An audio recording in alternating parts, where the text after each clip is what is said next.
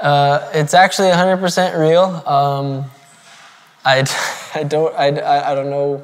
Maybe it seems like that when I'm headbanging, it might just fall off, but uh, it's, it's pretty it's pretty tight in there. You know, the DNA is it, it's in there. So that's probably one misconception about me that I can think of. But uh, not too many misconceptions. I am as I am. How much I can do.